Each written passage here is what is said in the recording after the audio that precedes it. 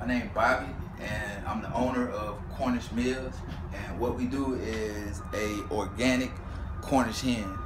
And we also do try to keep everything else as organic and locally grown as possible. The rice, the bread rolls, we actually do everything, all the items on our truck, we try to make them from scratch, directly on the truck using this rotisserie right here. This rotisserie, the Southwood rotisserie uh, oven machine, probably one of the best ones out that actually you know, give us an even roast for all our birds.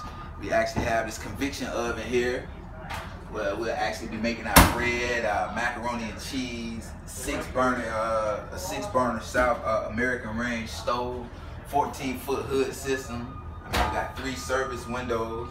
Also, uh, we also have a drink machine that's not actually up, but it's a drink machine that we actually don't, we, we haven't stabilized it on the tables because we want to be able to move it for prep space. We also have an ice bin, got an ice bin. We have a microwave. We also have a space back here for uh, the, the bow system and the outdoor system for the truck. We got three air conditioning units in the truck. You know, that should make it a little more cooler. We also had cameras for security. Uh, you know, security and, you know, to be able to watch over the register and, you know, whatnot. Uh, I don't know, the best thing I could say about uh, doing it with One Fat Frog was that my mom was a food trucker and when she did her food truck, she converted this old P37, if I'm correct, this old 1985 truck.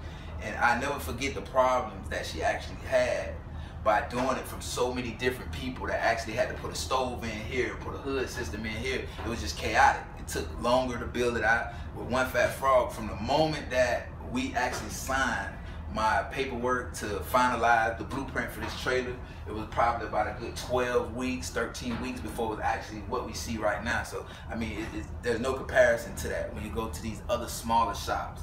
You know, I feel that what I paid for this truck could have probably been lesser from somewhere else, but then it would have been certain things that would have been, you know, not taken into consideration, like the weight of all of this stuff that have to be put in. Like it's just everything that One Fat Frog did to bring this to me to this, this, you know, this this last end result was amazing. Can't really put it no other way. They, they know their stuff. They know their stuff. And if I was to ever build another trailer, which I will real soon, it will only be done at One Fat Frog. This is Bobby and I'm signing out, man, so I can go and enjoy my trailer. But I enjoyed One Fat Frog. I enjoyed my experience. It's great.